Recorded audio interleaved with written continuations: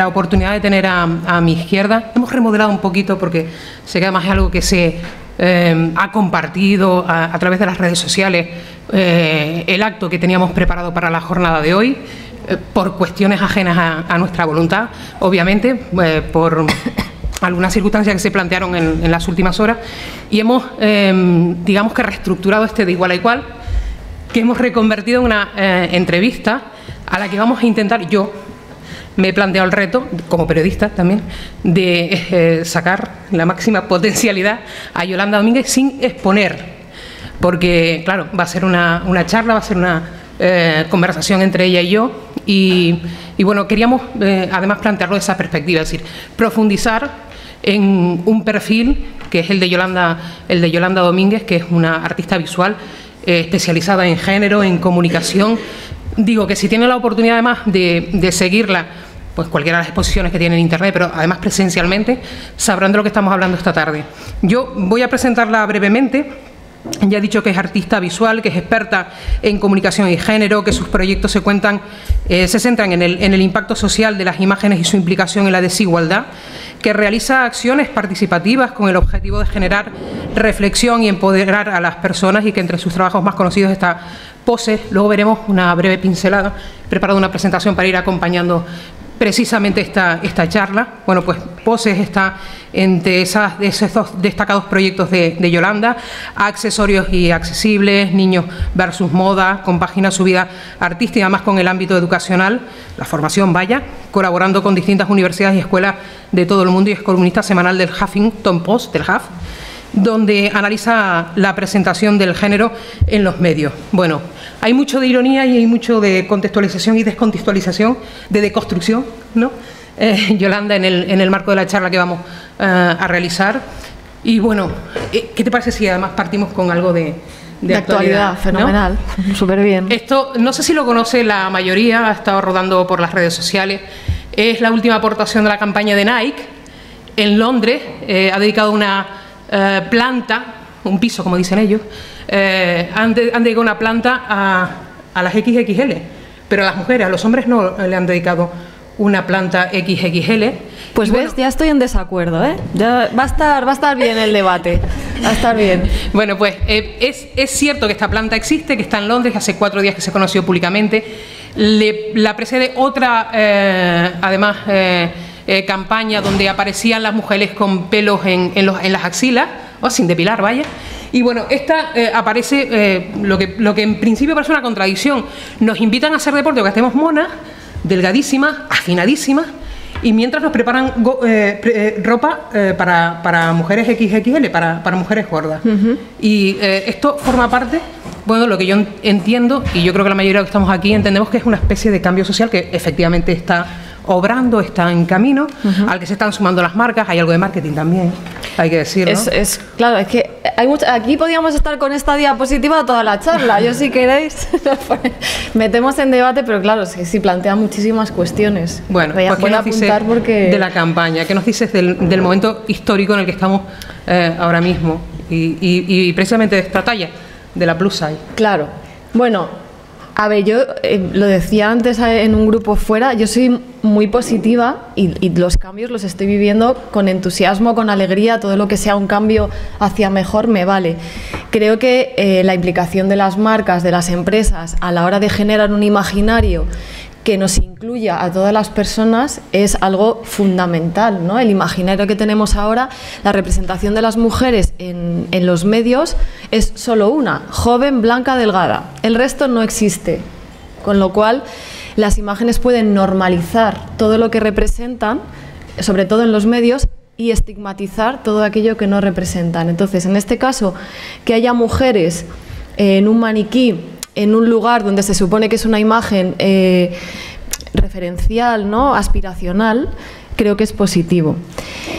Pero, pero, porque claro, todo lleva su trampilla, que hagan un especial planta XXL no integra, excluye. O sea, ya no me estás diciendo que no es normal, me estás diciendo que es especial, ¿no? Que no, que no es. Entonces, lo suyo sería hacer integrar diferentes maniquíes más delgadas, menos delgadas, con una edad eh, mayor, menor, con diferentes rasgos eh, o, colores de piel y no decir que es una especial curvy o una especial mujeres mayores. Esto, por ejemplo, lo entiende fatal la marca Mango. La marca Mango ha hecho una sección especial violeta con un nombre diferente para tallas diferentes. ¿Dónde está la integración? ¿No? A mí no me vendas la moto de que eres una marca comprometida, ¿no? Me estás diciendo que las mujeres de esa talla no entran en mango, tienen que ir a otro lugar. Y de determinada talla, pero ¿sabes que si ponemos plus size en Google, es el buscador de los buscadores, solo aparecen mujeres plus size? Bueno, creo que en, algo falla. En el hombre también es verdad que cada vez hay más presión eh, física con la imagen, pero es verdad que tienen mayor diversidad a la hora de ser representados. No solamente, por ejemplo, vemos en los medios de comunicación, en los telediarios, vemos a hombres mayores con canas. ¿Dónde están las mujeres con canas? En la televisión, ¿no? La edad, por ejemplo, para ellos es un factor que les confiere experiencia, sabiduría, credibilidad, pero a las mujeres eh, está asociado a una connotación negativa. No solamente es importante cómo estás representada o representado, o sea, estar, sino cómo estás. Y antes de que se me vaya lo de eh, también las marcas están empezando a cambiar, esto es positivo o negativo. Lo están empezando a hacer por una cuestión de pose realmente creo que no existe todavía un entendimiento profundo de lo que se necesita de ellas. Entonces, bueno, aunque solo sea por esa pose, bienvenido sea el eslogan en la camiseta, pero no nos podemos conformar con un eslogan en una camiseta. Hay que ver dónde está hecha esa camiseta, ¿no? Si es un trabajo esclavo, si es sostenible, si contamina, si tratan, si en esa empresa las mujeres cobran lo mismo que los hombres. Esto es igualdad, no un eslogan. Pero bueno, creo que el hecho de que el feminismo esté en los medios de comunicación y esté en las marcas es una puerta abierta que ayuda a que no se estigmatice o no, no, se demonice el término y que se pueda avanzar, pero no hay que conformarse.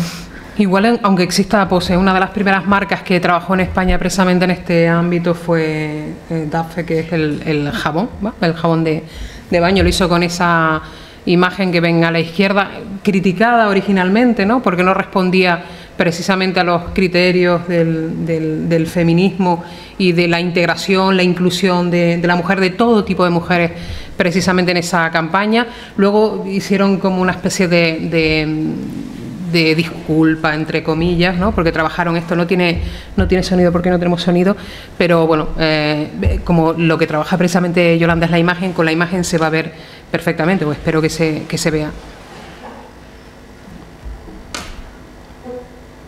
Oh, no se ve. Sí, bueno, es un vídeo. Cuéntalo. efectivamente, es un vídeo donde se muestra la transición de una mujer que han visto que eh, ahí es el resultado final, pero parte de eh, una imagen con un pelo liso muy pegado a la cara, luego la maquillan y se transforma en una mujer 10, entre comillas. Era igual de 10 al principio, ¿no? Claro, yo hay un...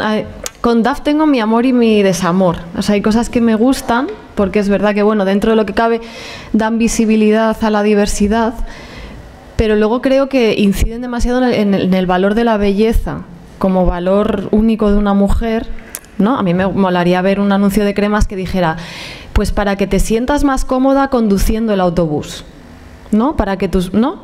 Siempre es como para mí inciden demasiado en el aspecto de la belleza asociado a la figura femenina. Y luego también eh, tenían una campaña, eh, no sé si la, la recordáis, que eran como mujeres que se describían a sí mismas y hacían un dibujo de, de cómo se veían y luego hacían otro de cómo eran en realidad y se veían mm, más feas de lo que eran en realidad. Pero ¿por qué tener unicejo es más fea que no? O sea, al final eran más guapas porque respondían más al estereotipo. O sea, tiene como cosas que tengo mi cuestiono. A ver si conseguimos verla. Lo- el problema que tenemos en la sala es que no tenemos wifi, no tenemos Ah. wifi. Entonces, pues, va- vamos a intentarlo. Si era una, como una mujer súper photoshopeada, claro, que creo que es un gran problema también en a este es, ¿no? A ver, Sí, no sé, ah, se, se ve un poco Se ve- se- porque hay luz encendida. Ay, ay. La-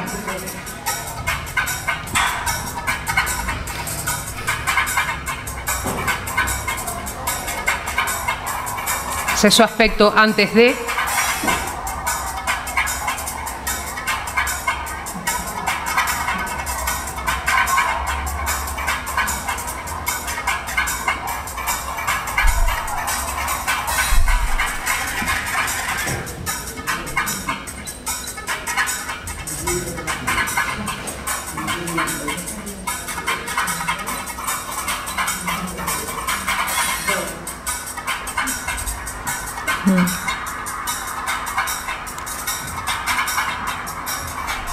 Photoshop, sí.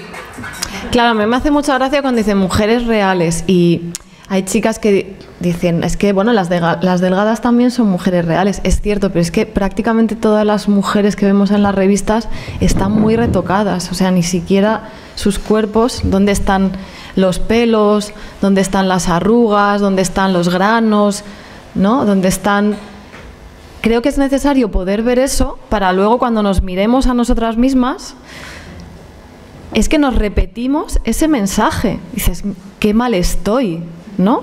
Es algo que interiorizamos y que nos influye en cómo nos miramos y en cómo miramos a otras mujeres. O sea, es, es algo... Esta mañana hablábamos en el taller, hay personas que mueren por las imágenes. Hay personas que son capaces de transformar su cuerpo con operaciones de cirugía que les llevan a unos resultados muy, muy terribles ¿no? para el, el- el físico y hay mujeres que mueren eh, de anorexia, de, desórdenes alimenticios. Entonces, las imágenes son muy importantes en ese aspecto. Bueno, eh, es parte de la campaña de la que hablaba Yolanda hace un ratito, ¿no? La del Violeta by Mango, que es una línea específica que sacó Mango para mujeres eh, gordas, ¿no? Pero gordas a partir de la 40. Eh, es- esa clasificación. Pero es que luego la ropa vale más cara, son diseños diferentes. Estamos gordas todas, que lo sé. Pero es- y todo. ¿Nos parece tremendo el eslogan? Iros a otra tienda, ¿no? Eh, A mí es un poco lo que me dice. Aquí no entráis. Mm. Hicimos una práctica en un taller en Valencia con, con las chicas y, y pusimos en el suelo unas flechas de la tienda de mango hacia la de Violeta que ponía gordas por aquí y tal, tal.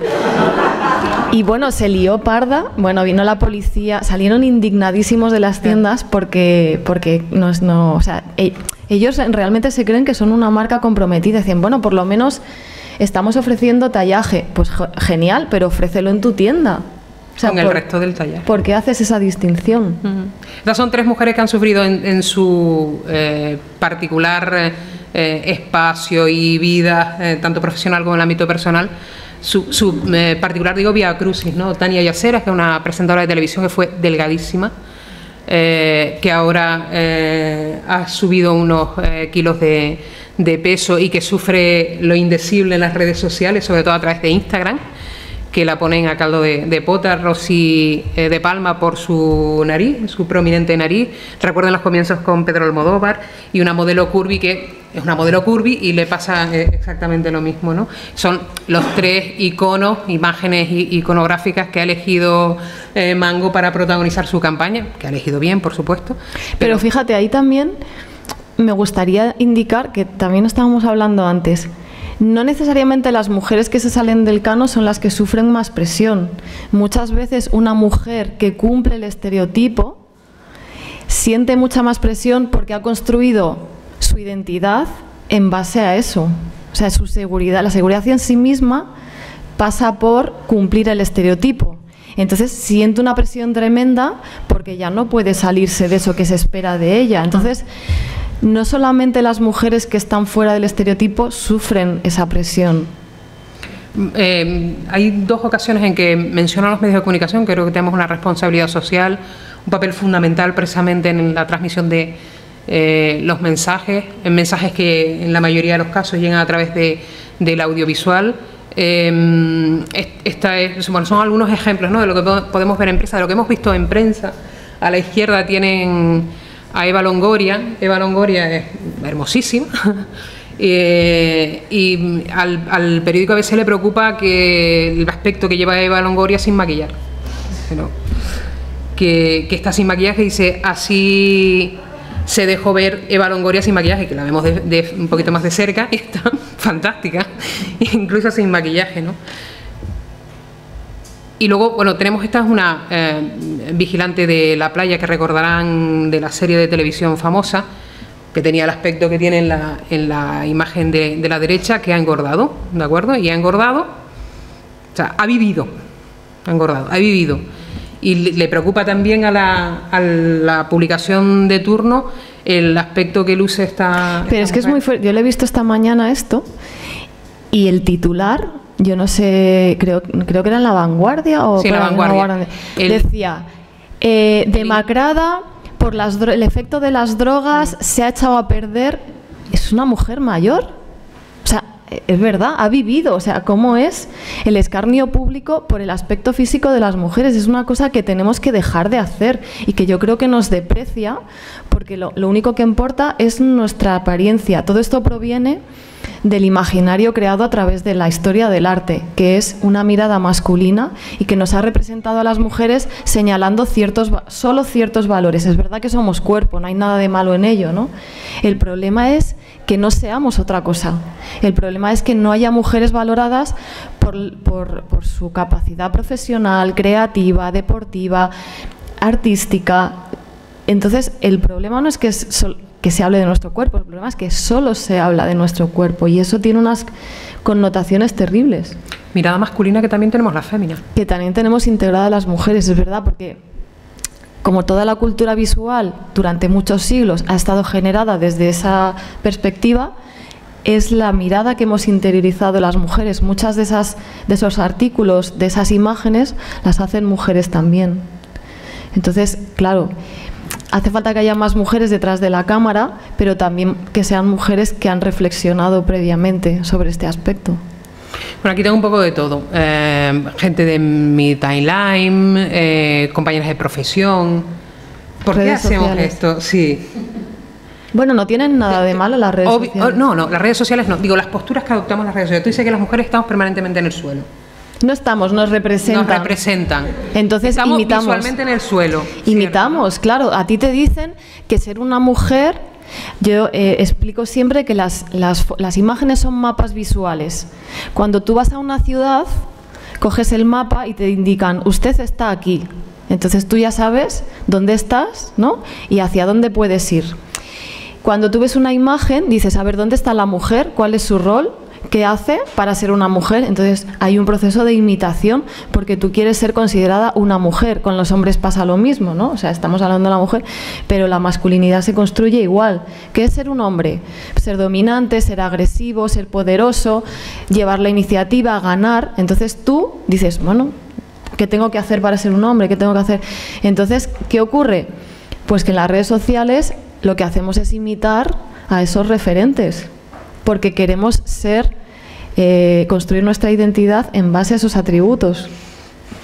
Yo he traído un eh, referente local, es la única a la que no he tapado la cara porque es un personaje público, que es una política canaria. Si les hablo de su, eh, del, modelo que hemos visto hace algunos años, al principio de la, creo, la legislatura de, Mariano Rajoy, el Partido Popular, todos tenemos en la retina, bueno, todos, y todas, posiblemente tengamos en la retina la imagen de Soraya Sáenz de Santa María. Tirada. Tirada con una pierna así como, como media rara, ¿no? Claro, es que eso, fíjate, la connotación que tiene esa imagen, que es un poco como una Venus, ¿no? De hecho, creo que lo hizo a propósito. Claro. Igual que esto que pasó por un robado, que es una política canaria del Partido Popular. Bueno, ahora ya no sé si tanto pero es una política canaria del Partido Popular que salió, sí, exacto, eh, sale en el, en el, Parlamento de Canarias, que es la foto que tienes ahí, y a la derecha saliendo de una playa, ¿no? en, bikini. son las imágenes que más eh, cercanas a la política y con, con, con, esa imagen en concreto que se ha publicado en los medios de, comunicación que se sale del espectro político, ¿de acuerdo? Entonces, bueno, por eso la, la he traído, simplemente para eh, no es de las peores, ¿eh? No, no, no, no, no lo traje porque sea peor. o sea, yo he visto imágenes de mujeres políticas que le sacan las piernas o no la cortan, que es, es un error cuando le cortas el rostro a una mujer, la deshumanizas. O sea, deja de ser una persona y eso es un error garrafal, ¿no?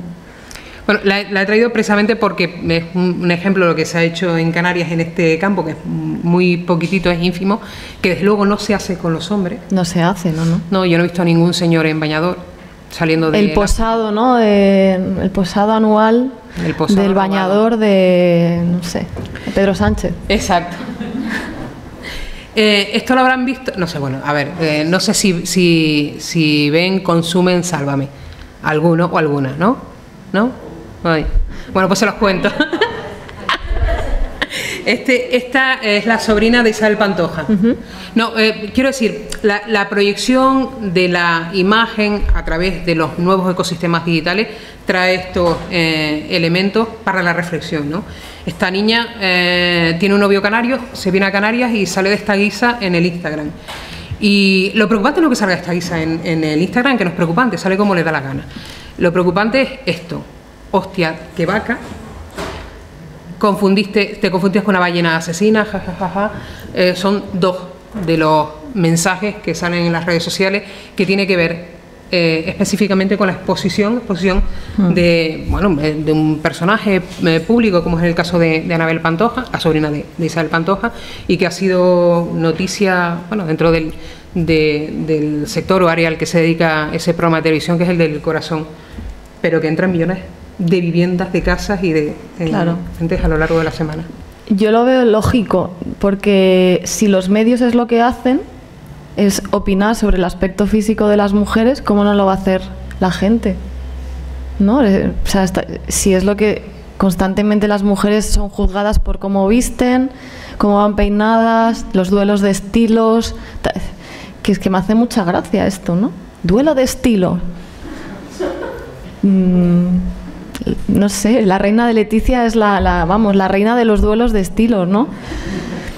No tenemos otra cosa que hacer. Entonces, claro, si, si se normaliza que una mujer sea juzgada constantemente por su aspecto físico, lo hacemos, ¿no? Es que la mirada se educa. La forma en cómo miramos a las demás personas viene educada por todas las imágenes que hemos visto previamente. La forma en la que tú me estás mirando ahora tú estás tirando de todo el imaginario que tienes ahí metido, ¿no? Entonces es muy difícil no hacerlo, es, es normal lo que están haciendo. Seguro que lo hacen mujeres también. Mm.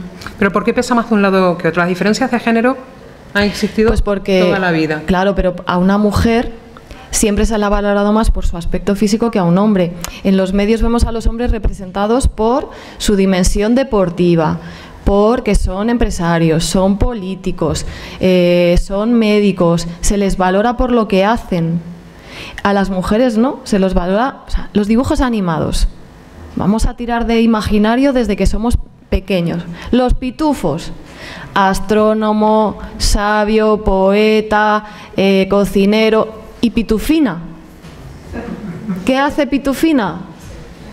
Es rubia, no, o sea, no sabemos qué hace Pitufina. Pues esto multiplicado por todos, todos los dibujos son hombres que hacen cosas y mujeres que son las novias. Entonces, todo esto multiplícalo por el cine, por las series, por las redes sociales, por la moda, por los de no sé, todo.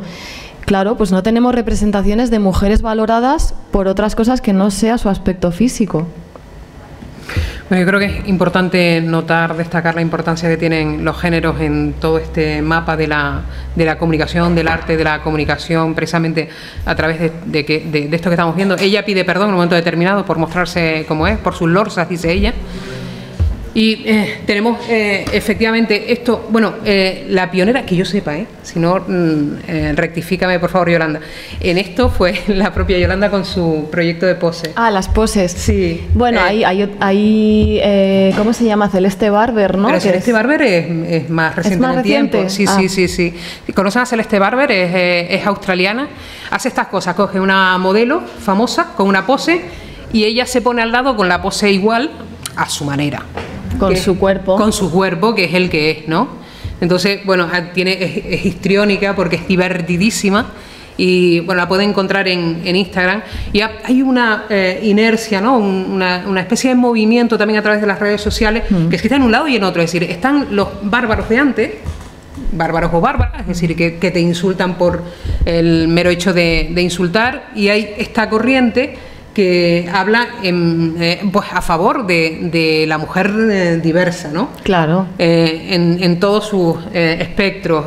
hay también, bueno, algunas cuentas específicas que, te van poniendo imágenes e instruyendo en, en el camino. Hay hombres a los que les gusta tener donde agarrar eh, que bueno y se pregunta qué es lo que significa para los hombres eso de, de, agarrar no que a ver cuándo os enteráis de una vez que mi autoestima no depende de, bueno de dónde te agarres tú no de, lo que me sobra a mí y, de dónde te quieras agarrar tú bueno pues esas son eh, cuentas que puedes encontrar en Instagram que combaten a su manera eh, precisamente la, inercia que hay con respecto al, físico ¿no? y al atropello que hay con el físico que no es el estándar. Claro, yo creo que cada vez somos más y, además me alegro de ello, que no si solo somos una persona no cambiaría nada, ¿no? Yo creo que el hecho de que haya muchas personas trabajando en esa dirección eh, se crea un movimiento y ese movimiento sí que consigue un cambio social. Baja por las poses de... No sé si conoces el proyecto de poses de Yolanda. Sí, aquí lo que hice fue descontextualizar esa pose con la que nos representan en otro lugar para ver si tienen la misma lectura, ¿no?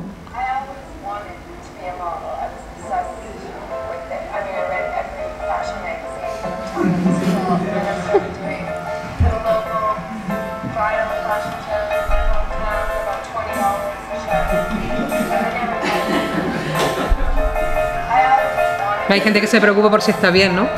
Claro, dicen, esto no es muy normal, no es, ¿no?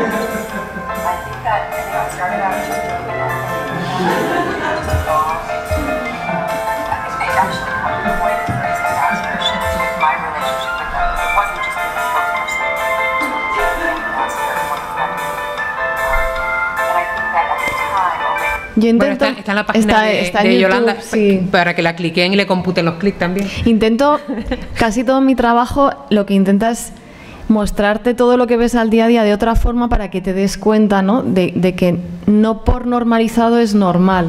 Esas poses están, están generando eh, que la gente se preocupe.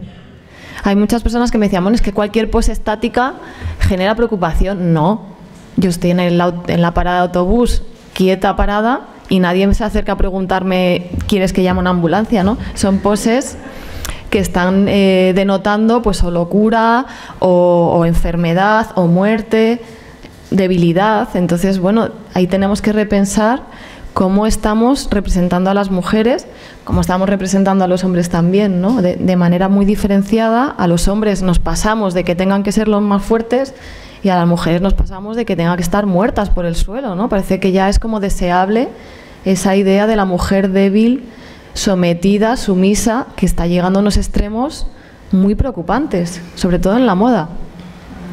Eh, ¿Pillaron el eh, perfil de Yolanda al comienzo? Digo, por si quieren escribir algún tuit y, y eh, plantearnos alguna pregunta, alguna cuestión al final. O ahora, si, si queréis preguntar, o sea, mientras vamos hablando, si se os ocurre alguna cuestión, eh, hacerlo en el momento, ¿eh? No, Levantamos la mano y ya está. Va a enriquecer seguro. Sí. Eh, ¿Crees que se rompen, se están rompiendo, digo, con los últimos acontecimientos? El, la evolución que ha tenido el feminismo, básicamente los dos años, últimos dos años, porque ha sido muy fuerte y muy, muy intenso. ¿Se están rompiendo los techos de esos estereotipos sociales o no? Yo creo que sí, que estamos, estamos evolucionando muy rápido, aunque pensemos que es lento, estamos haciendo un cambio cultural que lleva siglos instaurado y que estamos consiguiendo realmente eh, con mucho esfuerzo y de muchas generaciones estamos empezando a ver un poco los logros. Eh, también están empezando a salir las resistencias, ¿no? Pero que dentro de lo que, no sé, yo creo que son hasta buenas señales, señales de que la cosa está empezando a cambiar. ¿Te parece, incluso a, pesar de los últimos acontecimientos políticos? Yo creo que sí. A ver, asusta, asusta porque, porque dices, bueno, pero es que esto mm, es contra el sentido común, ¿no?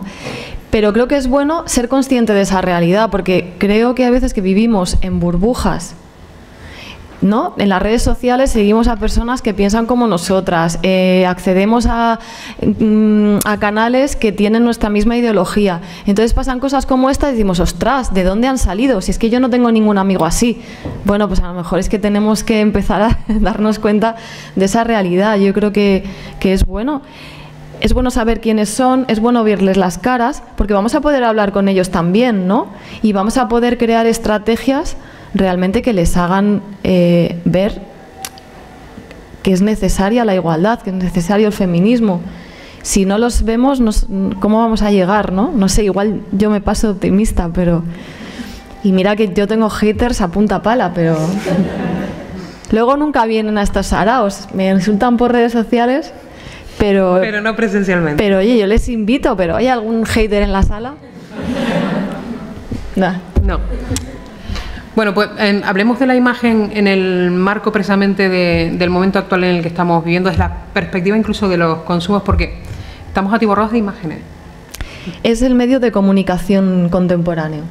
Vale, pues yo, bajo mi perspectiva, además desde la perspectiva de la comunicación, estamos viviendo una especie de transición, porque ahora sí que es cierto que lo audiovisual ha tenido una etapa eh, o un punto culmen, sobre todo con Instagram, eh, menos en, eh, en, audio, ¿no? en audiovisual, YouTube en, en su momento, etcétera, y incluso con, con Facebook, y ha decaído en, para, para, poder abordar también otros sistemas de, comunicación, plataformas de comunicación como el podcast, etcétera, que, están teniendo cierta prevalencia a la hora de, de, de desarrollar determinados canales de comunicación. ¿no? Pero ¿qué importancia le das a la imagen en el momento eh, actual en el que estamos? Para mí es el medio de comunicación principal porque, pues porque en una imagen se puede sintetizar mucha información. Es un medio de comunicación muy rápido, pero también muy peligroso porque es muy inmediato. ¿no? Lo que ves es lo que crees. Y además no es como el texto, que el texto es un índice que te lleva a otro lugar, o sea, te hace pensar, te hace ir más allá. Pero la imagen es plana, es lo que ves, es lo que hay. Y además le damos muchísima credibilidad. Es el lenguaje primario. Hemos aprendido a ver antes que a leer o que a hablar la mirada, el ver cómo está otra persona, si está feliz, está enfadada, es una amenaza, no lo es, es el, el principal medio de comunicación, ¿no? Y es muy poderoso porque permanece en la memoria a largo plazo. Lo que escuchas y lo que lees se olvida con mayor facilidad. Entonces, es una herramienta de influencia enorme. Por eso se utiliza desde la publicidad, desde la política, desde las empresas, desde la religión. Ha servido durante muchos años, la religión se ha servido de la imagen para educar a las personas. Entonces es una herramienta con muchísimo poder, en la que creo que hay una inconsciencia brutal. Es decir, las personas que trabajan con la imagen no son conscientes del poder ni, tienen, no, tienen conocimiento sobre la herramienta, no se plantean qué efectos tienen las personas y eso es un problema. ¿La agencia de publicidad tampoco? No. Las agencias de publicidad aunque sea para mal. No saben ni, ni no, no, tienen ni idea de la historia del arte, que es la historia de la imagen. O sea, los medios de comunicación de masas llevan 100 años entre nosotras y llevamos siglos de historia de la imagen, que es la historia del arte. Es algo que desconocen, no saben de dónde vienen los estereotipos, no les preocupa cómo impacta ese trabajo en las personas y desde luego no tienen ni idea de feminismo. Entonces hay un peligro ahí, porque se quieren apuntar al carro, pero muchas lo hacen mal. El feminismo es conocimiento. Entonces creo que hay una, una gran inconsciencia en el uso de la imagen y un gran desconocimiento de la herramienta que no solamente afecta a quien genera la imagen, sino a quien vemos la imagen. Los niños y las niñas están solos ante el visionado de imágenes con los peligros que eso conlleva. Nadie les acompaña, nadie les hace ser críticos ni ser críticas. Cuando alguien conduce se les da unas clasecitas ¿no? de aprender a conducir, pero con la imagen nadie te educa. Nadie te enseña. Consumimos imagen, generamos imagen, compartimos imagen y no sabemos, realmente lo hacemos desde una intuición, pero, sí, pero desde el desconocimiento, ¿no? Y creo que es vital ese conocimiento pues, en facultades de comunicación, en, sobre todo a gente joven. Tú dices los podcasts, pero es que la gente joven no lee. Usa Instagram, usa Snapchat, casi no escribe. Yo escribo semanalmente en el Huffington Post y yo me doy cuenta de que mis artículos, el éxito de un artículo es el titular y la imagen porque no puede dar tiempo material a que, te a que ya estés retuiteando o contestando en un artículo que lleva siete minutos leerlo y tú me has contestado a los 30 segundos o lo has difundido. Entonces, eh, no, no, cuadra, ¿no?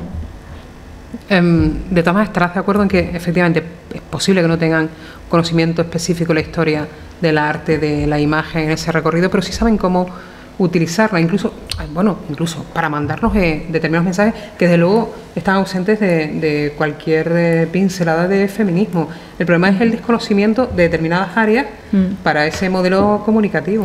Los medios de comunicación lo que hacen es reforzar lo que ya conoces que son los estereotipos. Desde que eres pequeña te meten ahí como un software, ¿no? Te dicen que el mundo es de una determinada manera, entonces para que les entiendas te hablan en ese código. O sea, tiene realmente tiene, un tiene una razón efectiva de comunicación. Yo te voy a hablar en un lenguaje que tú ya conoces, porque si te hablo en otro código, igual no me entiendes. Pero es posible que yo como comunicadora tampoco conozca otro. Bueno, eh, es verdad, pero tienes la capacidad de crear la imagen, con lo cual tienes la responsabilidad de conocer de dónde proviene y cómo poder cambiarla. Es cierto que es más fácil criticar que proyectar un cambio. Es, ¿no? Sí. Es para proyectar un cambio, pero yo creo que es lo que debemos exigir hoy a quien genera la imagen. No podemos ser lo que no podemos ver. Si no tenemos en el imaginario hombres amorosos, hombres que son padres, hombres que son cuidadores, hombres que son sensibles, no podemos pretender que haya hombres que sean así, porque no tienen referentes. Si no tenemos mujeres que son presidentas del gobierno o que son mecánicas o mineras, me da igual, o sea, no necesariamente es una figura de poder, no podemos serlo. Entonces, hoy creo que las imágenes y creo que las empresas que están como diciendo soy feminista, lo que hacen es señalar al problema. Tenemos que dejar de representar a las mujeres como víctimas, eso no, ya nos está encasillando en un rol. Tenemos que dejar de representar a los inmigrantes como pobres miserables. No les hace ningún bien, ya lo sabemos. Esa imagen ya la hemos visto. Creo que podemos exigir a las imágenes que sean una herramienta de cambio y que proyecten hacia donde queremos ir. Yo quizás me paso un poco de, ¿no? de adelantada porque cuando, por ejemplo, no sé, hacen una, que se vamos a poner un ejemplo, ¿habéis visto Roma? La peli está maravillosa, todo el mundo, ¡ay, qué maravilla! ¿no? Y lenta. Y lenta, bueno, pero porque estamos acostumbradas al ritmo frenético, ¿no? ahí de la emoción. Pues es verdad que señala un problema, ¿no? Entonces parece que nos conformamos porque decimos, ay, nos ha mostrado la realidad. Pues yo creo que eso lo que hace es encasillar a esa persona en ese rol. Y a mí me habría gustado, o lo que yo espero ahora de, los creadores de imágenes, es que superen ese rol. No sé si me entendéis. De repente haber contado la historia de esa mujer desde, no sé, como, como una heroína, como una rebelde, como, ¿no? Para eso necesitamos más mujeres creando imágenes o personas de otras clases sociales o personas de otras culturas. Es que tenemos un imaginario que es la mirada de un hombre blanco heterosexual occidental, de clase alta. Y ese es el imaginario que hay. Entonces, no podemos ser libres para decidir quiénes queremos ser, es que no tenemos opciones. Ni la, la industria nos deja. ¿Tú crees que Cuarón, Alfonso Cuarón hubiese tenido la misma proyección, el mismo recorrido con Roma, eh, presentando una heroína que presentando a una mujer eh, supeditada a las circunstancias, las circunstancias de su época, años 70, y con el rol que le asignó en, esa, en ese film, en esa película? No, estoy, vamos. Entonces no factura. No factura, porque esa imagen, esa peli refuerza lo que ya sabemos. Es verdad que salimos diciendo, ay, qué pena, ay, pobrecita. Incluso con un cierto paternalismo que a mí, mm, ¿no? que de esa peli salgamos diciendo que bonita y, me chirría, ¿no? Sí, es verdad que tiene una fotografía maravillosa, pero yo creo que podríamos pedir más.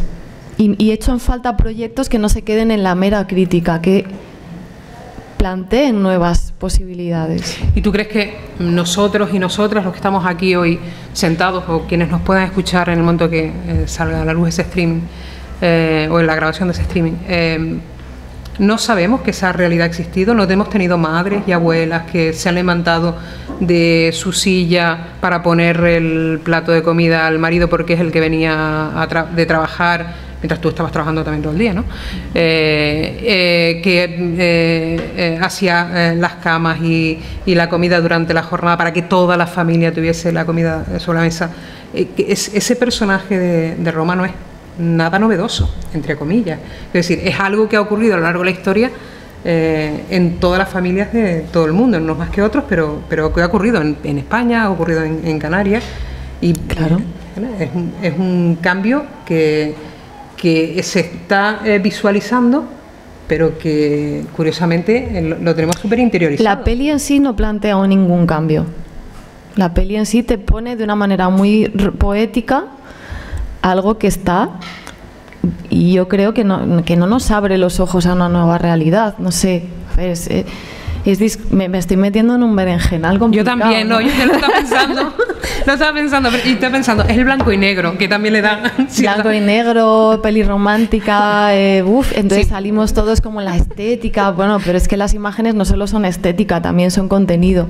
Es verdad que se puede disfrutar de una imagen estéticamente, pero yo tengo mi. tengo eso, mi opinión al respecto, ¿no? Esas imágenes de las personas que pasan hambre en África, no sé, la, la, típica foto que hacen los fotógrafos que empiezan, que sacan a los indigentes de la calle, pobrecitos, no les ayuda esa imagen.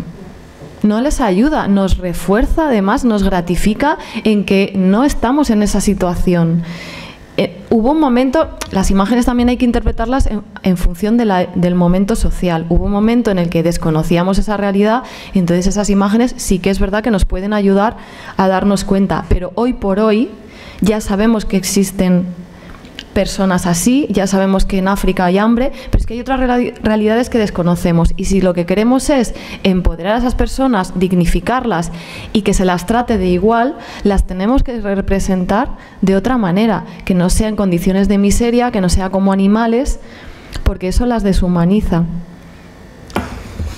Estoy segura que muchas y muchos de nosotros aquí conocemos eh, tu obra, pero eh, cuando planteas proyectos, cuando planteas exposiciones, ¿Qué es lo que planteas para enganchar precisamente con esa parte del conocimiento humano que tenemos tan interiorizado y que hay que desandar, ¿no? que, hay que, que hay que deconstruir. Es verdad que eh, Yolanda es una cosa que, que, ni los medios de comunicación, entre otras cosas porque buena parte de los medios de comunicación andamos algo alienados, ¿no? Entonces así es difícil hacer absolutamente nada, pero ella te pone contra el espejo, ¿no? delante del espejo, entonces cuando te ves, bueno, eh, o tiras para atrás o, te paras a, mm. reflexionar. Yo soy muy de darte lo, que tú me das. O sea, es como que tú me das una cosa y te hago plin y te la devuelvo y te la pongo en la cara lo que tú no quieres ver. Entonces, bueno, eso hay veces que molesta mucho, ¿no? Sobre todo cuando hablas de hombres, esto ya, vamos, esto es lo más, es insoportable. A las mujeres lo, de la crítica parece que lo llevamos mejor. Pero sí, mi estrategia estamos más acostumbradas, pregunto, no sé. Yo creo que va, innato en la masculinidad lo de no cuestionarse, ¿no? Yo lo hago bien, esto es así y entonces no, no puedo ni siquiera dudar de mí mismo. Entonces a ellos les está costando muchísimo eh, cuestionarse y plantearse porque lo toman como una amenaza a su masculinidad, ¿no? Yo creo que yo creo que cuando los hombres se enteren de lo bueno que es para ellos el feminismo mm, van a fliparlo, ¿no?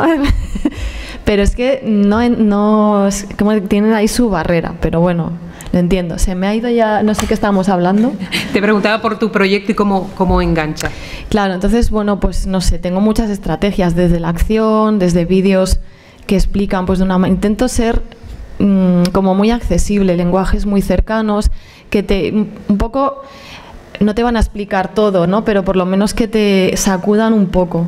En ese sacudir, pues me llevo yo muchas hostias de vuelta, eso también es verdad, pero creo que es necesario también. Todo lo que vemos en los medios nos lo que hace es adormecernos, ¿no? Decir, estamos a gusto en tu silla y nos reconforta porque apela a lo que ya conocemos, porque no nos da nada nuevo. Entonces realmente necesitamos proyectos que nos hagan sentirnos un poquito incómodas e incómodos para que nos replanteemos nuestro lugar en esa silla. Creo que es necesario, desde el mundo del arte se puede hacer, porque bueno, el, mundo del arte sí que intenta ¿no? generar que seas que tengas una mente activa, desde la educación se puede hacer, ¿no? En las aulas se puede trabajar esa actitud crítica y yo creo que desde los medios también, lo que pasa es que lo hacéis menos. Y tips, luego asumo yo mi parte, ¿no? y tips para eh, afrontar ese, ese, consumo desde la perspectiva del arte, en este caso, digo, que nos ayuden, que sean, eh, si es posible, con carácter práctico, para que cuando los afrontemos, los veamos, sepamos discriminar y que no nos discrimine. Joder, claro, es que el conocimiento eh, es una cosa que lleva su tiempo, no, no se hace así ¿no? en un tuit. Pero bueno, yo creo que aparte del conocimiento, pues hoy tenemos herramientas que nos hacen también ser partícipes de ese cambio. Por ejemplo, un selfie. Un selfie. Cuando nos hacemos una foto y la subimos a redes, podemos decidir entre reforzar el estereotipo o combatirlo generando una imagen diferente de nosotras mismas o de o ellos, ¿no? Pues en lugar de ponerte el filtro, meter tripita, sacar morritos y ponerte, ¿no? Todo esto que te quita todas las arrugas y te quitas el grano y tal, puedes decir, pues esta soy yo, esta es mi celulitis, este es mi bigote que no me he hoy, ¿no? Entonces, hoy tenemos poder las personas, podemos participar en el imaginario, algo que antes era impensable. El, solo el poder generaba la imagen, ¿no? Y hoy tenemos una comunicación abierta, hablar con las marcas. Podemos contestar a las marcas, podemos citar a una marca y decir, Mango, no me gusta tu publicidad, Zara, no me gusta tu publicidad. Y yo creo que eso también está empezando a cambiar la escena de la comunicación, ¿no? Porque empieza a haber un diálogo. Esto es la verdadera comunicación. Por mucho que algunas personas lo lleven fatal esto, ¿no? Yo no soy negativa, pero mm, digo, podemos empezar por aquí hoy mismo, esta tarde. Hmm. Y empezar a cuestionar las marcas y empezar a tener nuestro propio discurso a ver si tumbamos a las Kardashian. A las Kardashian. bueno, es tremendo. es un fenómeno, es un, fenómeno de muchos millones de dólares. Yo, yo, lo digo, mira, antes la imagen más repetida de la historia es la Virgen María, pero en la actualidad es Kim Kardashian. Claro. ¿No? Con el efecto que tiene eso en la construcción de lo que es una mujer, esas 7.000 capas de maquillaje que lo hacen las niñas de 13 años, ese couturing, ¿no? Tremendo, no sé si lo habéis visto, que te lleva cuatro horas de maquillaje para parecerte a Kim Kardashian. Pues, chica, sé tú misma, ¿no? Pero no, hay que parecerse a Kim Kardashian. Pero bueno, responde a joven blanca delgada. Es verdad que tiene un poquito más de curvas, oye, algo es algo. Pero digo porque a los cánones exactamente de belleza establecidos y demás los cánones no responden los cánones van cambiando claro van cambiando. El la belleza es algo que es eh, corresponde a épocas no en la época de Rubens pues eran las mujeres eh, más grandes con celulitis porque eran primero no había calefacción entonces había que tener reservas, entonces esa celulitis ahí, esas carnes, te aseguraban que tú sobrevivieras a los partos, ¿no? Entonces era visto como algo. Pero luego hemos entrado, ya tenemos calefacción, las mujeres salen y hacen deporte, el deporte implica que tú tienes tiempo de ocio y con lo cual implica que tienes una situación económica eh, desahogada. Entonces esa delgadez responde a connotaciones que van asociadas al éxito. Todo depende de las épocas, ¿no? Pero bueno, ahí la imagen tiene, tiene, mucho, muchas posibilidades de que todos los tipos de cuerpos sean aceptados. Hmm. Fíjense el recorrido que eh, no es lo eh, que hemos expuesto sobre esta mesa, no es de lo que hemos hablado, sino de lo que queda por delante, que es eh, muy denso Em, estos son dos ejemplos que me he traído, que les, hago un pantallazo cuando lo hice. Ahora voy a hacer uno y hacemos la prueba aquí en directo. Eh, ahora te explico lo que es. Em, eh, voy em, a, poner la piedra sobre lo que es el Big Data. Bueno, los medios de comunicación, ahora lo traigo a mi terreno, los medios de comunicación estamos sufriendo una crisis, esto que sabemos, una, una crisis en el ámbito laboral por cómo estamos internamente, pero también nos azotó la otra crisis, que es la, que sufrimos todos los demás, nosotros la sufrimos doblemente, hay muchos sectores que la sufrieron doblemente. ¿no? Bueno, pues ahora eh, se, se, nos viene encima una, una suerte de revolución tecnológica, hace años que está encima, ¿eh? una suerte de revolución tecnológica y lo último es el Big Data, ¿no? ya no nos necesitan ni a los periodistas para eh, construir, para elaborar informaciones, ya lo hacen robots. Eh, ¿Cómo? Pues tú le proporcionas a través de una gran base de datos los, los datos eh, los eh, elementos para que construya esa información y te construye la información a la carta, que es además aquello que tú quieres recibir porque es de tu interés, por lo que sea, porque te gusta el deporte, porque te gusta la tecnología, porque te gusta la montaña, por lo que sea.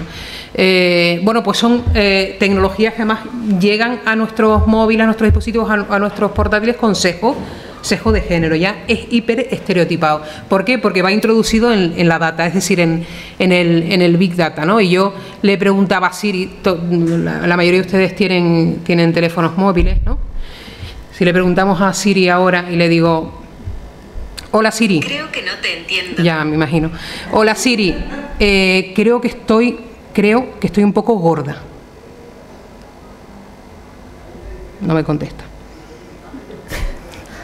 Creo que estoy un poco gorda, Siri. Eso no está bien. De hecho, hay ratos que me dice. hay, ratos que me dice que mm, estoy maravillosa. Hay, Voy a preguntar. Vale. Pero eh, cuando le pregunté hace un par de días si estaba gorda, me decía, no me vengas otra vez con eso. O sea, que se acuerda de que ya se lo has preguntado. se acuerda de que trabajo con ella y le he preguntado pero efectivamente lo tenemos introducido, es decir, eh, en esas bases de datos que hay millones y millones y millones de, imágenes, cuando se ve una de esas imágenes con un ser humano, que puede ser un hombre, con una espátula, un caldero, que se pone a remover y al lado hay unos fogones, mujer. Y cuando te lo asigna a, una, eh, un texto, te asigna una mujer porque eh, esa imagen de los fogones, con la espátula o con, el, cucharón removiendo en una cacerola eh, en, esos fogones y en esa cocina no puede ser más que de una, de una mujer. Mm. Entonces, eh, eh, lo que hacen es además apuntalar las discriminaciones. Mm. Ese otro tipo de consumo al que, tenemos que, tenemos que afrontar, evidentemente, al margen de, de, los, de los visuales, los que no llegan por todo tipo de canales, porque tenemos un bombardeo permanente, mm. por todo tipo de canales y, tenemos que empezar a discriminar. Sí, yo creo que es horrible porque lo criticable es precisamente esa falta de libertad que tenemos las personas para acceder a la información. Siempre se está hablando de la libertad de expresión de los medios, pero ¿dónde está la libertad de las personas que vemos los medios? No somos libres y mucho menos que con todo esto del Big Data y que nos lleve una, una información sesgada. Es decir, no tenemos acceso a la libertad de información. Es que es muy tremendo. ¿No? Y ese es nuestro derecho también. Yo creo que hay que velar por la libertad de información de las ciudadanas y los ciudadanos. Y no, no la tenemos. Tenemos una- un- unos sesgos de género que nos ponen a los hombres a un lado, a las mujeres a otro.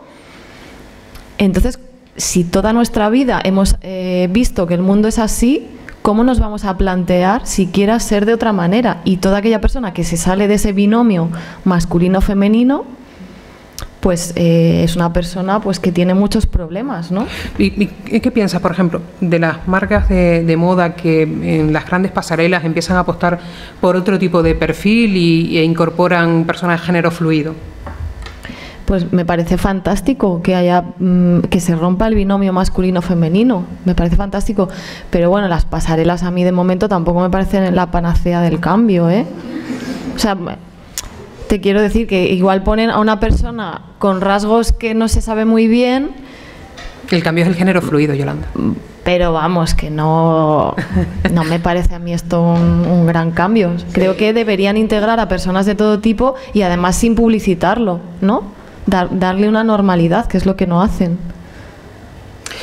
Bueno, no me acordaba lo que le había preguntado a Siri. Él no le decía, "Eh, creo que estoy más delgada, Siri. Y me decía, me alegro mucho por ti. Toma ya. Y él, no te le decía, creo que estoy más gorda. Y me decía, venga ya, no empiece. Oye, esto habría que hacerlo con un hombre, ¿no? Que le diga, Siri, creo que estoy más gordo. A ver qué dice, ¿no? Segura, dirá lo mismo. Tú lo has hecho ya. Todos los días, ¿no? Bueno, es verdad que el tema del aspecto físico empieza, empieza también, hay una presión hacia los hombres, pero porque la industria de la belleza ha detectado un nuevo nicho de mercado. Es, muy retorcido, ¿no? Porque la industria de la belleza lo que hace es meterte el miedo en el cuerpo para aprovecharse de tu miedo y venderte una cosa que no te va a cambiar jamás. Chicas, la celulitis no se quita. No es así, o sea, de hecho alguien me contó el otro día una marca, pero eso no me acuerdo del nombre, que, que decía claramente la celulitis no se quita, o sea, yo te puedo dar algo para estar más hidratada, para- pero no te voy a engañar, ¿no?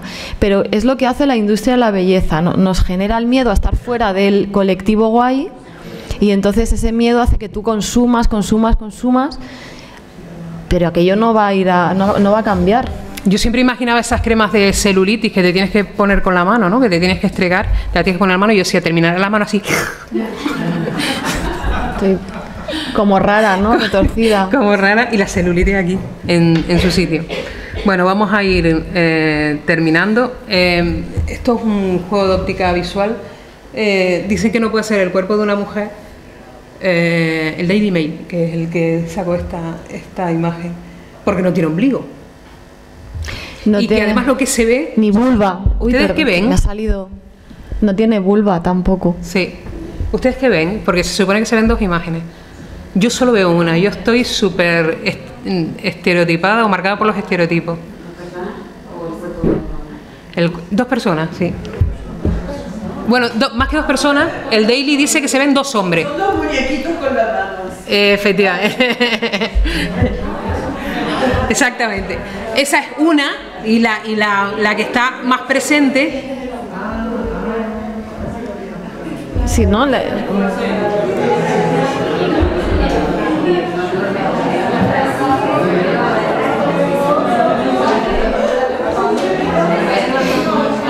Fijaos que la forma la forma en la que miramos esta imagen está condicionada por las imágenes que hemos visto. Un, se- un segundito, un segundito, ahora la comentamos.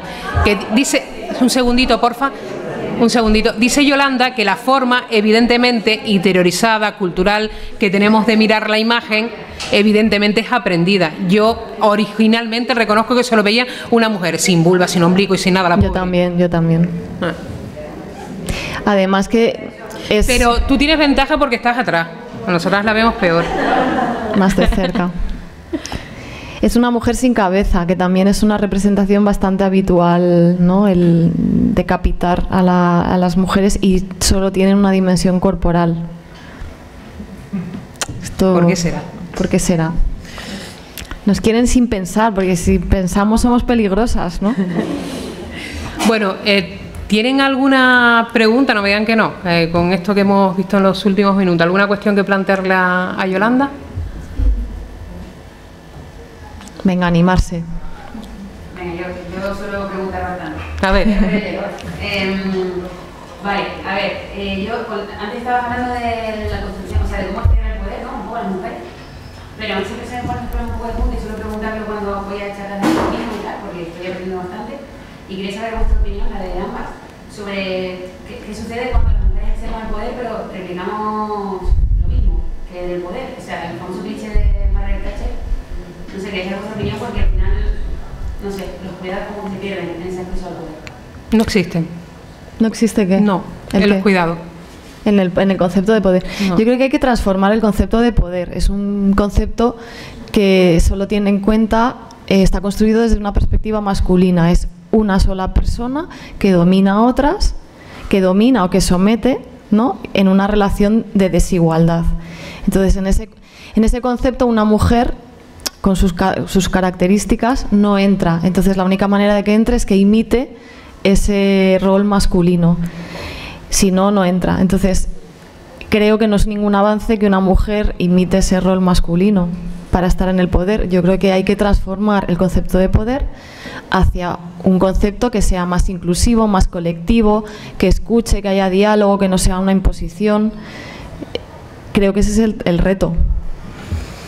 Yo lo veo desde una doble vertiente. Eh, yo he sufrido, entre comillas, a una mujer que asumía eh, labores de dirección y que me dirigía a mí, que se mimetizó con el ambiente, que entraba en reuniones donde el resto de, de los eh, protagonistas de esa reunión, de los intervinientes de esa reunión eran hombres, y si no eh, sacaba el colmillo exactamente igual que el resto de los hombres, no sobrevivía ni a las reuniones ni a su puesto de, dirección. Y cuando salía se comportaba exactamente igual con el resto, incluidas la- las mujeres. Sororidad cero. Siempre. Bueno, porque era un, un rol que había asumido para sobrevivir. Y en la otra parte, eh, desde mi experiencia eh, en la dirección de un medio de comunicación, les puedo decir que yo puedo dirigir un medio de comunicación siempre y cuando no moleste. No molestes. Sí, no moleste. El día que moleste, que sea eh, una oposición para alguien que me vean como una persona que, que- que tienen enfrente ¿m? y que puede hacerles sombra de alguna manera, empieza la batalla. Y es súper cruel, Claro. es tremendamente cruel. Sí, sí. Es muy injusto. Muy injusto y muy doloroso y muy. Hay que. Mira, una de las cosas que se pueden hacer desde la imagen, desde el imaginario, es crear nuevos referentes de poder, ¿no? Creo que el arte ahí puede hacer mucho. La ficción es una forma de educación. Entonces, bueno, creemos esos referentes hacia los que queremos ir, imaginémoslos y proyectémoslos. Hace poco, eh, em, en la dirección de empresa me criticaban como me, me, me criticaban, me tildaban como feminista radical. Solo conocer la etimología de la palabra, ¿vale? Eh, pero como algo negativo, ¿no? Tengan cuidado con esta como que es feminista eh, radical. Sé poquitito de feminismo, pero poquitito, de verdad. Y gracias a lo poquitito que sé, para estos elementos. Es que se me ocurrió otra cosa, me iba a salir del estómago. Pero lo voy a decir. Para estos elementos que tienes, con los que tienes que trabajar, con los que tienes que librar batallas todos los días, ¿no? Es, es, es desesperante a veces, ¿eh? es, es complicado porque nadar contra corriente pues exige eso, mucho esfuerzo, es, un, es algo que te cambia a ti, ¿no? exige autocrítica, exige que no te acepten en muchos sectores, que no te entiendan, pero creo que es que una vez que, que- empiezas a ver las cosas ya no, no sé, no puedes ir para atrás, ¿no? yo ya no concibo no tener una mirada feminista. Y es una evolución y es un proceso que, que lleva mucho tiempo, que creo que, que la- los distintos debates que hay sobre el tema de la igualdad es por los distintos grados de conocimiento que tenemos del tema, ¿no? Gente que tiene más, gente que tiene menos, gente que no tiene ninguno. Entonces el debate hace que, eh, o las diferencias son por ese grado de conocimiento. Hay que, hay que estudiar, hay que formarse. ¿Cómo podemos combatir, dice María que va a andar por aquí, hola María, cómo podemos combatir los foros que usan la inteligencia colectiva eh, para movilizarse en contra del feminismo? Eh, por ejemplo, Foro Coche. Mm, mis amigos.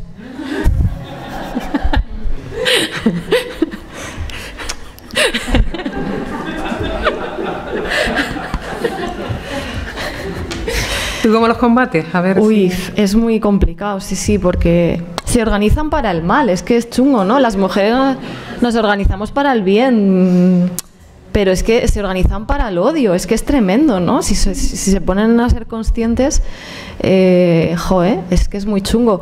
Creo que en el tema de las redes, pues la violencia no está todavía regulada. Hay ese amparo en el anonimato, son capaces de decirte, de insultarte y de, a ver, es verdad que te hacen daño porque cierran cuentas, eh, no sé, eh, el levantarte todos los días con 200 insultos hacia tu persona, que no hacia tu trabajo, eh, hacia tu persona, es muy duro, es muy duro de gestionar.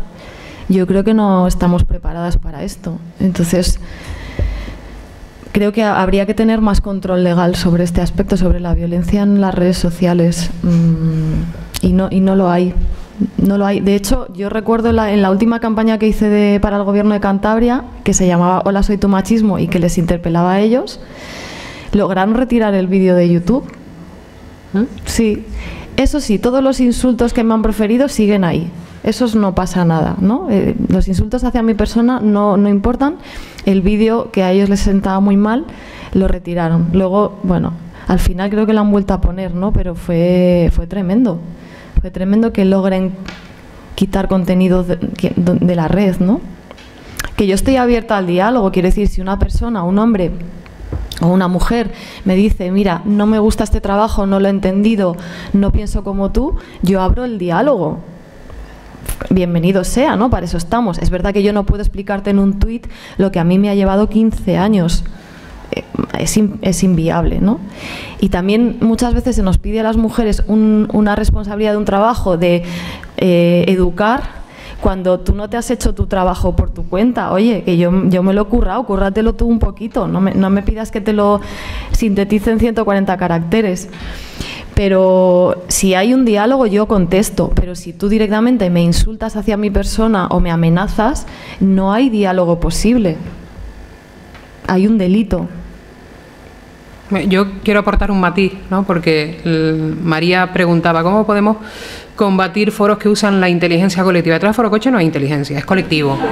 Pero, pero Hay pasta, no hay. eh, se, hay mucha se- pasta, sí. se compran bots para hacer, ¿no? Para ir, para denunciar, Contracampaña. para contracampañas. O sea, hay un tema de, de pasta detrás de, de esto. Yo hablaba de la inteligencia artificial, que son los bots que utilizan las empresas para enviarte información a la carta, del tipo que sea, ¿no?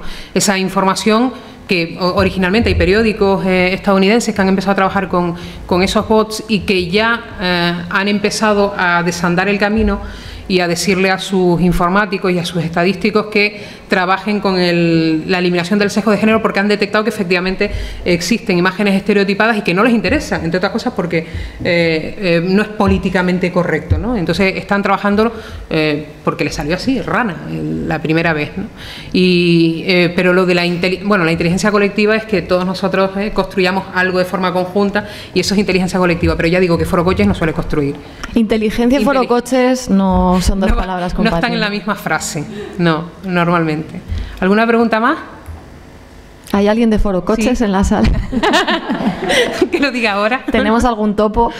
Oye, estaría muy bien. Yo de verdad que no, ¿no? No. Yo creo que hay que estar en contacto y, que, y de verdad que yo tiendo, al, tiendo la mano. Pero no los veo aquí, ¿eh? Pero no. O si los ha- yo creo que alguno hay. Pero no se manifiestan porque están en un terreno hostil, no están, no están en su manada. Que la manada hace para bien y para mal. es verdad, yo trabajo mucho con la idea de lo colectivo y es verdad que en lo colectivo eres capaz de hacer cosas que no eres capaz en lo individual. Esa fuerza puede ser usada para cosas buenas y para cosas malas. ¿Tu nombre? Ali. Ali. Eh, un poco por ahondar en, la visibilidad e invisibilidad de las mujeres en el espacio público, eh, yo creo que, bueno, daría para un debate también larguísimo, pero las mujeres desaparecemos del espacio público a medida que vamos viviendo más y ganando edad. Y llega un momento en que las mujeres no existimos, o sea, mujeres mayores de 45 años, 50 años, o estás mm, extremadamente estupenda y no aparentas tu edad, o no existes, pero en ningún ámbito. ¿Quieres decir en los medios? Sí, sí. eh, O estás, pero asociada a cosas negativas. O eres una abuela, en el sentido... Eres una dependiente, Exacto. eh, pues sí, tienes pérdidas de orina, eres mala porque eres una bruja o no. Entonces es es- eso es tremendo. Pero es como una invisibilización aceptada. Sí, y que a nadie le parece sorprendente. Quiero decir, incluso las mujeres aceptamos que a partir de cierta edad mm, No. tenemos representación de ningún tipo más que para ese tipo de cosas negativas. Los olores eh, corporales, eh, las pérdidas. eh, eso afecta, eso afecta a tu calidad de vida. Ella es coaching de salud eh, y esto es, es un tema que es muy importante. Efectivamente, hay, un, hay una, un- una teoría que es la, la amenaza del estereotipo. No sé si la conocéis, es una hipótesis eh, de- de- del campo de la psicología que dice que a una persona a la que se presupone eh, pues que no va a hacer algo bien de un colectivo, ¿no? eh, cumple, lo cumple. O sea, si se supone que tú no vas a ser buena en matemáticas, por ejemplo, sí, se, se cumple, ¿no? Entonces, desde luego entiendo que hay una relación directa entre cómo asociamos la vejez en una mujer a las consecuencias reales sobre tu cuerpo de ese estereotipo. Porque aceptas que van a pasar determinadas cosas como irremediables cuando realmente no lo son. No lo son, no lo Y son. sin embargo los hombres no desaparecen nunca. No. Y lo que tú decías antes, se les sigue valorando por, por lo que hacen, por quiénes son, Ujú. no por cómo son. Y ahí también hay una discriminación enorme y, y un daño que no se ve, Mm, que Sí, se traduce también luego en temas incluso de salud. Totalmente. Abandono, por la aceptación de, de lo negativo, de... Cómo te ves a ti misma, efectivamente. Sí, hay, hay- yo creo que hay como una asociación de, de la, la validez de una mujer pues a su etapa fértil, ¿no? Tal cual. La etapa fértil eh, y luego ya deja de ser válida para la sociedad, ¿no? ¿Cómo se puede cambiar esto? Pues lo hemos hablado antes, generando un imaginario que asocia a una mujer mayor a cosas positivas, a, a- a lo valiosa que es su experiencia, su mirada, todas esas cosas, ¿no? Que no existe, efectivamente, como no existe, no podemos tener ese referente. Mm. Yo siempre pongo el ejemplo, lo he puesto en algún de igual, eh, pongo el ejemplo más muy reciente en el tiempo, que fue la, campaña de acoso y derribo a Cristina Cifuentes, que no tuvo parangón con la que eh, se hizo eh, con, con su compañero de, de fila, Pablo Casado, ¿no? habiendo cometido los dos similares tropelías académicas, ¿no? Y, y curiosamente, eh, bueno, no sé si se acuerdan, a ella la llamamos Cristi, eh, la llamamos, se llamaba en las redes sociales cuando se pretendía insultarla la Sifu, eh, Cristi, Cristina, solo por su nombre de pila, sin embargo a él, Pablo Casado, el señor Casado, para insultarlo, ¿eh? Eh, y eso mm, ocurre en, en- en todos los ámbitos de, de la vida, ¿no? Sí, sí, totalmente de acuerdo. Bueno, hace poco con Manuela Carmena, eh, Cayetana Álvarez de Toledo.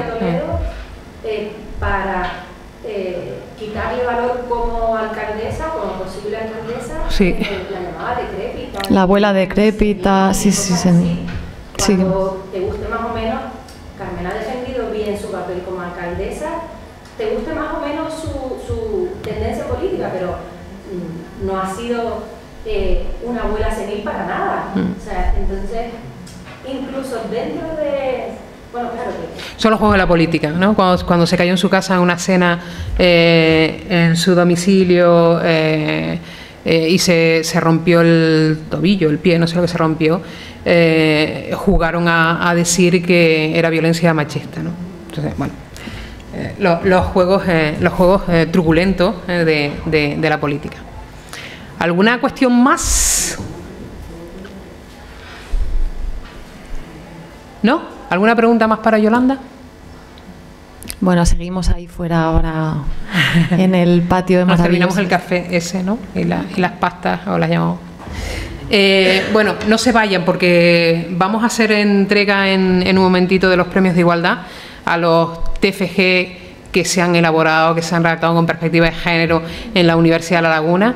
Y, mm, y luego queremos escuchar a Carolina otra vez, ¿no? que va a ser nuestro maravilloso, maravilloso final de fiesta. Así que eh, Saray Rodríguez, que es una de las integrantes de la unidad de, de igualdad, será quien nos ha- haga la presentación de esos premios, premios de igualdad, a estos TFG del curso 2017-2018.